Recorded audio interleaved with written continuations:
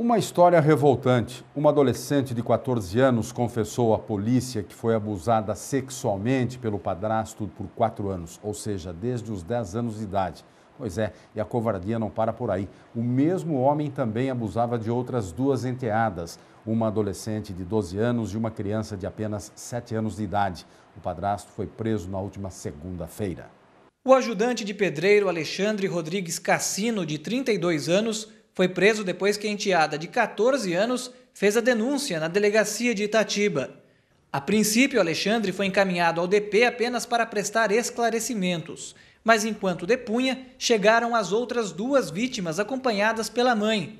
Diante dos relatos, foi decretada a prisão preventiva de Alexandre. Segundo os laudos médicos dos exames realizados nas vítimas, pelo menos duas das três enteadas, a de 14 e a de 12 anos, foram estupradas pelo padrasto. Os crimes aconteceram sempre dentro de casa, neste condomínio. Outra prova contra Alexandre são arquivos de vídeos feitos por ele próprio em que pratica atos sexuais com as enteadas. Ainda segundo as investigações, o ajudante de pedreiro dopava a própria esposa com remédios de uso psiquiátrico para abusar das enteadas.